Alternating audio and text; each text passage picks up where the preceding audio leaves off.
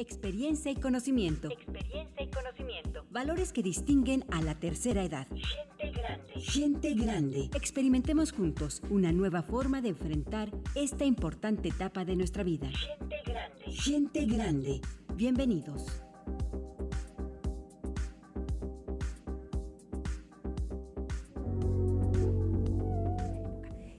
Bueno, pues le decimos que hoy tenemos un tema muy interesante, estamos de manteles largos porque estará con nosotros el director del, del, IEPAM, es el Instituto Estatal de las Personas Adultas Mayores, que ya, bueno, es una realidad en nuestro estado y vamos a platicar con él precisamente de esto, de esto que es el instituto y de un encuentro que están organizando muy interesante, es un encuentro gerontológico que ya estamos a muy pocos días de dar inicio para este encuentro, para que ustedes estén enterados y puedan accesar a la información de este gran evento. Así que bueno, pues le damos la más cordial bienvenida a este espacio. Estamos en vivo, estamos en directo, ustedes pueden marcar 2020-8865, es el teléfono que tenemos aquí en el estudio, pueden mandar mensaje de WhatsApp 81 26 11 35 35 y también puede usted eh, comentar la transmisión en vivo que tenemos en directo en la página oficial de Facebook, Canal 28 Nuevo León. Estamos ahí transmitiendo en vivo, estamos monitoreando los comentarios y desde luego que vamos a dar lectura a todo lo que usted nos diga por ahí en este,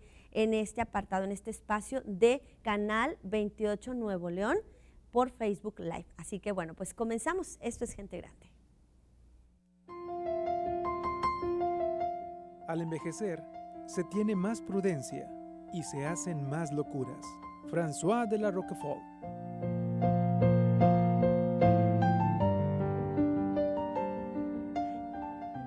Pues ahí François nos decía esta frase, dice el ingeniero, hasta al revés, se tiene menos prudencia y hay más locuras. Le doy la más cordial bienvenida al ingeniero Ramón de la Peña, que bueno, es el presidente, perdón, sí, el director de este Instituto Estatal de las Personas Adultas Mayores. Ingeniero, bienvenido. Muchas gracias, muchas gracias. Y bueno, pues eh, esta ya es una realidad, este instituto. Pues sí, ya es una, efectivamente es una realidad, ya lo tenemos pues prácticamente, prácticamente listos. Y aquí pues es un organismo descentralizado de la administración pública estatal que trata pues de consolidar, integrar y multiplicar los servicios que le damos a las personas adultas mayores, por un lado. Pero por otro lado también tratamos de motivar a los jóvenes, que tarde que temprano van a llegar a ser adultos mayores. Si bien nos va. No, no, espero que les vaya muy bien. Pero cuando lleguen adultos mayores, que es parte de nuestra planeación estratégica personal, es decir, yo quiero llegar con salud, salud física, salud emocional, salud mental, salud espiritual y sobre todo también salud económica. Yo siempre les he dicho que en la vida hay tres factores importantes, salud, dinero y amor. Sí, claro. Porque si no tengo salud, se me acaba el dinero. Y si no tengo dinero, el amor sale volando por la ventana. Así que eso, eso es importante. Y nuestra estrategia es estar buscando esquemas de efecto multiplicador. Por ejemplo, nos encontramos con una organización aquí en eh, Monterrey, Lumen Asociación Civil. Sí, claro. Tiene un programa de capacitación para las personas que cuidan a los adultos mayores. Sí. Entonces dije, ¿cómo podemos tener efecto multiplicador? Entonces en eso me acordé del trabajo que hicimos en el Instituto Nacional de Educación para los Adultos, que tiene un modelo de educación para la vida y el trabajo, que es un sistema no escolarizado, acreditable, modular, flexible, en donde yo estudio aquello que me sirve para mi vida y mi trabajo. Bien. Entonces dije, ah, caray, en México se atienden a 2.7 millones de mexicanos al año en, en, ese instituto. Entonces dije, ¿por qué no combinamos algunos cursos del Lumen? Lo combinamos con, para, que sea parte del modelo de educación para la vida, para tu vida y tu trabajo. Porque en México existen muy pocos adultos mayores, o las familias de los adultos mayores, que tienen recursos económicos para mandarlos a un lugar en donde los atiendan. Porque cobran entre 8 y 30 mil pesos mensuales.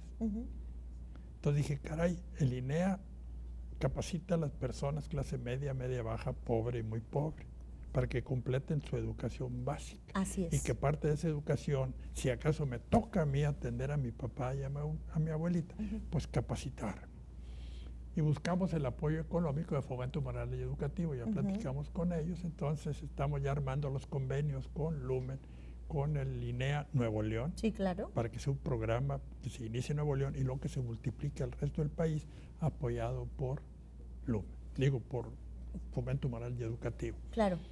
Pero después dijimos, caray, hay otro sistema educativo no escolarizado que son los centros de capacitación para el trabajo, los Sí. CECATIS. Así es. Entonces dije, ahí atienden a 1.4 millones de mexicanos al año. Sí. Lo único que piden es que tengas más de 15 años y que sepas leer y escribir. Así es. Entonces dije, oye, qué padre sería que esos módulos educativos, modelos educativos, que en cuatro meses le cambian la vida a una persona porque me enseñan a manejar un torno, una fresadora, a cortar el pelo, afinar el carro, hacer instalaciones eléctricas, darle mantenimiento a computadoras Repostería y demás. Ujú. y además hasta me enseñan a hacer instalaciones de paneles solares. Sí, también. Paneles solares. Entonces dije, oiga, qué padre sería que los adultos mayores tuvieran acceso a eso. Claro. Entonces ya platicamos con ellos y nos dijeron, sí, vamos a iniciarlo en el CECATI 192 y luego lo multiplicamos a través de, de los otros. diferentes.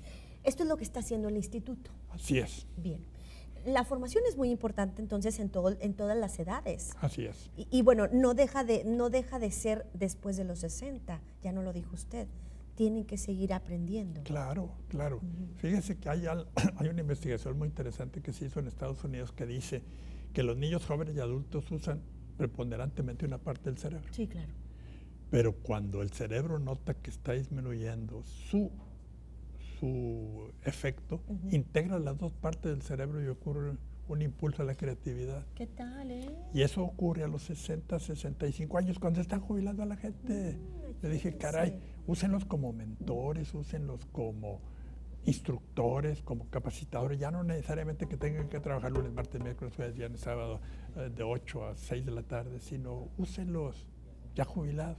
Claro, Y esa es parte también de nuestra intención, claro. con, un- con otro programa que estamos implantando, que es el programa o escuela de inventores. Bien. Porque una persona puede trabajar como empleado, Sí, puede trabajar como emprendedor así es. o como inventor. Y en, y en México, en Nuevo León, no hay escuela de inventores. ¿Qué tal, eh? Entonces, el programa que tenemos es, yo detecto si usted tiene talento creativo. Sí. Y si tiene talento creativo, le invito y le digo, pase por esta etapa educativa en donde le voy a enseñar a fortalecer su hábito de estar buscando oportunidades. Clic, Bien. clic, clic. No necesariamente investigación y No, desarrollo, no. sino oportunidades. Claro. Ejemplo, a mí me tocó ir a ver una exposición de Isis y la serpiente emplumada. Y veo un ataúd, me asomo y digo, oiga, ¿y esas figuras qué son? Isis y Osiris. Oye, ¿por qué las pusieron ahí? Porque querían que los faraones se fueran envueltos en brazos de la divinidad. ¿Qué tal, eh? Entonces le dije, ah, caray, le voy a llamar Enrique Martínez y Martínez, ex gobernador de Coahuila, Sí, ahora embajador en Cuba, sí. pero dueño de Funerales Martínez. ¿Qué tal, eh? que tiene todo un, todo un sistema de eso en, en- en Coahuila. A lo mejor lo tiene también en otros estados, pero Sí. sé que en Coahuila lo tiene. Entonces dije, le voy a vender la idea de, que, de crear ataúdes en donde esté la Virgen de Guadalupe, la Virgen de San Juan de los Lagos y el Santo Cristo de la Capilla, que es el santo máximo Claro. en Saltillo, Sí. para que los muertitos de Saltillo se, fueran en- se vayan envueltos en brazos de la De divinidad. la divinidad. Entonces, y el, el siguiente etapa es, bueno, ¿y cuánto me vas a cobrar? Claro. Pues en lo que vendes 50 ataúdes, los vendes en un mes, pero cada ataúd cuesta 30 mil pesos. ¿Qué tal, eh? Entonces 50 por 30 mil pesos, un millón y medio de pesos. ¿Cuánto tiempo tarda usted en ganar un millón y medio de pesos? pues es un mucho El tiempo. tiempo suficiente para inventar algo más. ¿Qué tal? eh? Entonces va de invento en invento en invento y los adultos mayores ya jubilados pueden, creativos, los podemos capacitar en eso. ¿Qué tal? Con tres etapas. La primera es fortalecer su hábito de comportamiento, luego cómo registrarlo, patentarlo y luego cómo venderlo. Esto está sumamente interesante y esto es lo que está cocinándose para el Instituto Estatal de las Personas Adultas Mayores en el Estado. Bueno, ingeniero, me están marcando un corte promocional. Claro. Tengo que ir a este corte. Le, in- le invito nuevamente a que se comunique 2020-8865. Las vías de comunicación están en- abiertas, estamos en vivo. Eh, mensaje 81 26 11 35 35 y también por la transmisión en vivo en Canal 28 Nuevo León.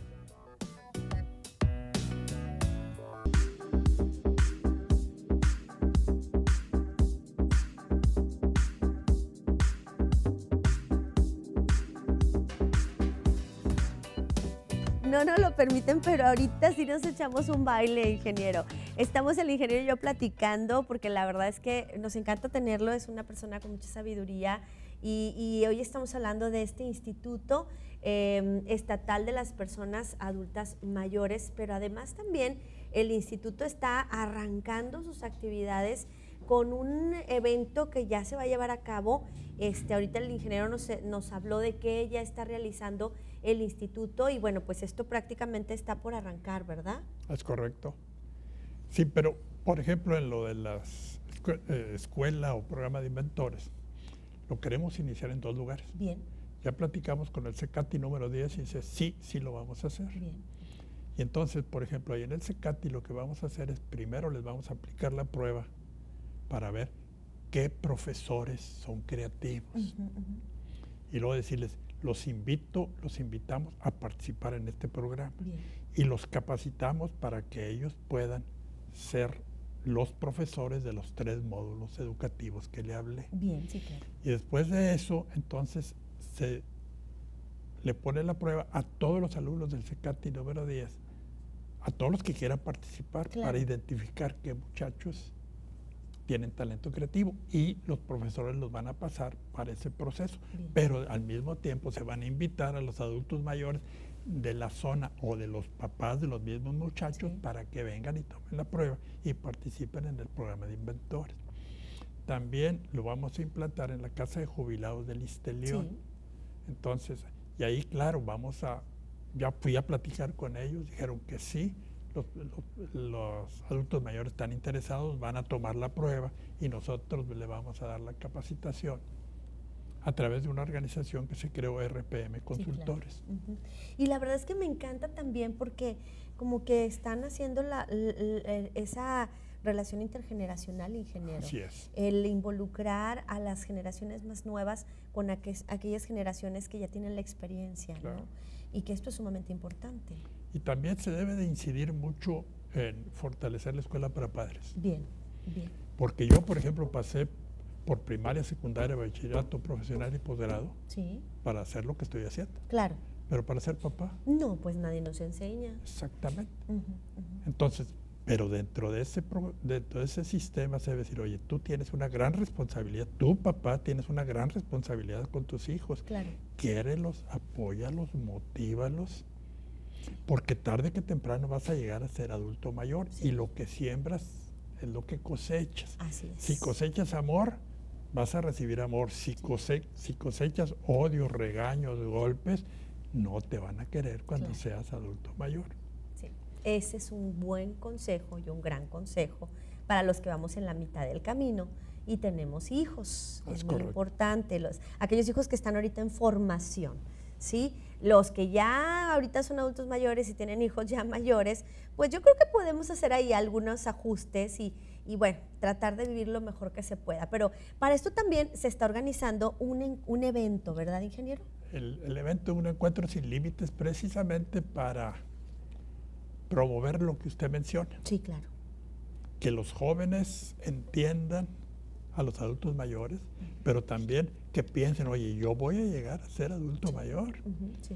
Y entonces, si quiero llegar con una salud física plena, con una salud mental, con una salud emocional y con dinerito ahorrado, También, importante. definitivamente. Entonces, se van a tener conferencias magistrales, se van a tener exposiciones y van a ser del día 27 al 29 de septiembre en Sintermex, Sí. ujú. en donde están todos invitados, Ujú. definitivamente. Ah, obviamente se van a hablar de los derechos humanos, los derechos que yo como adulto mayor tengo, Tengo, pero también yo como hijo tengo y yo como nieto tengo. Y yo como abuelo tengo. También. Las políticas públicas que necesitamos instalar, formalizar y crear para que el adulto mayor y el joven reciba todo el apoyo y el adulto mayor lo, tenga. Bien. ¿Cómo tener un, un envejecimiento saludable? ¿Qué tengo que hacer para cuando yo llegue a ser adulto mayor tenga una salud física, salud emocional, dejar el cigarrito, dejar Sí. toda esa parte? Luego, las nuevas tecnologías y la educación también. Cuando me preguntan, este, ¿qué estudiaste? Yo les digo, yo estudié ingeniero químico, pero soy un ingeniero químico AC, Ujú.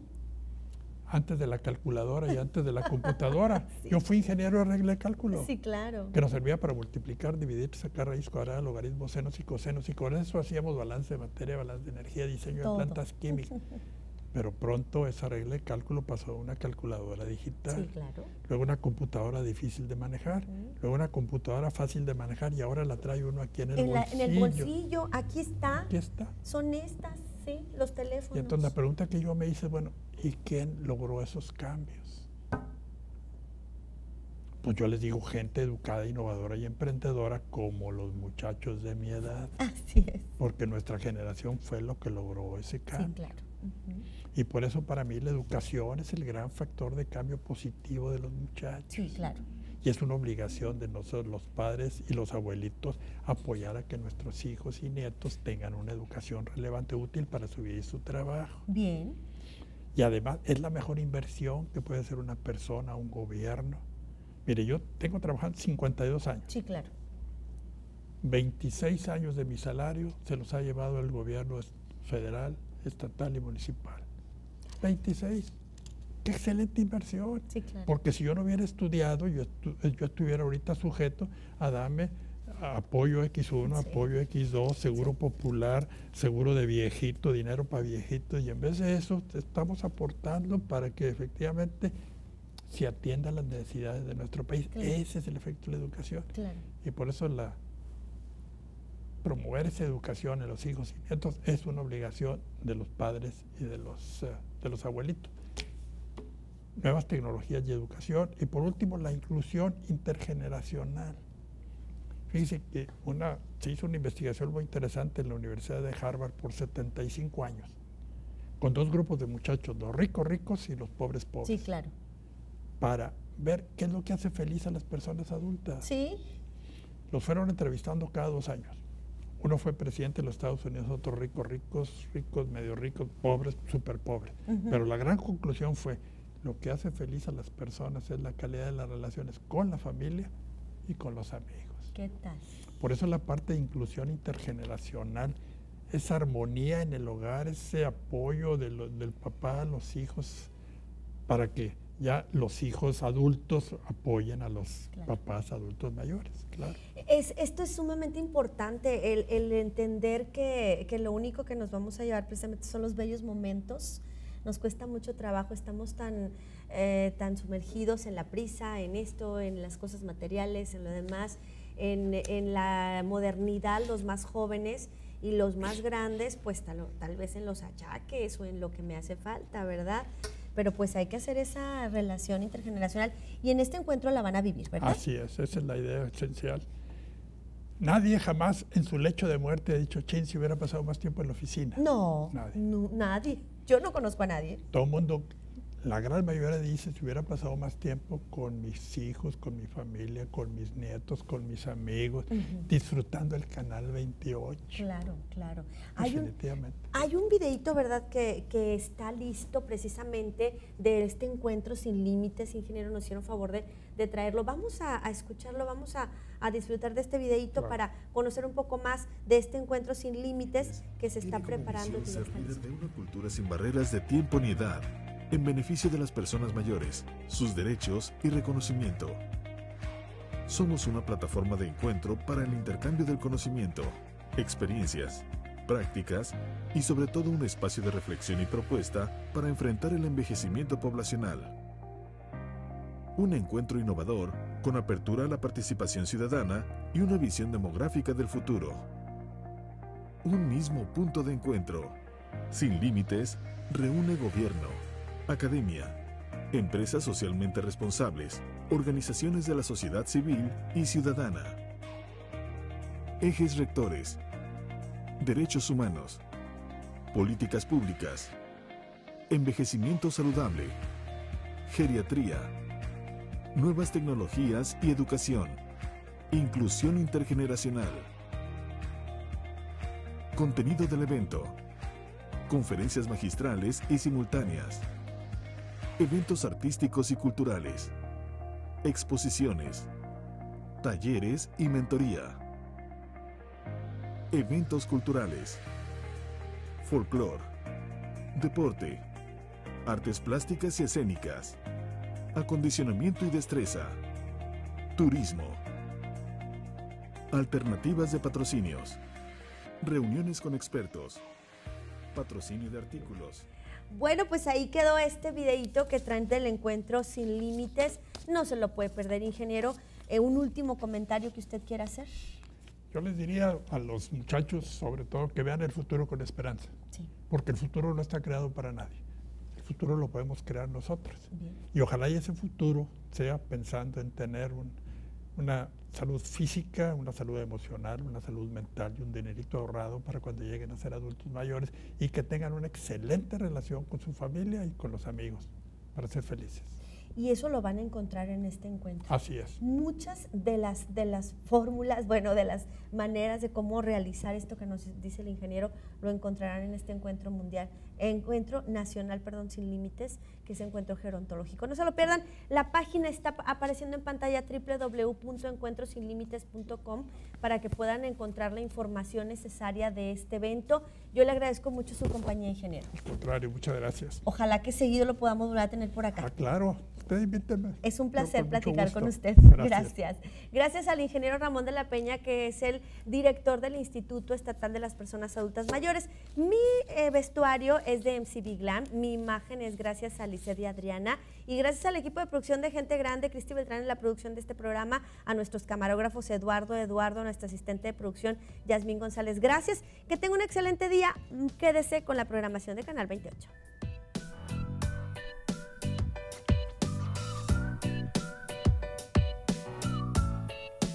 Depende de cada uno de nosotros. Gente grande. Gente grande. Acompáñenos en la próxima emisión. Esto es Gente grande. Gente grande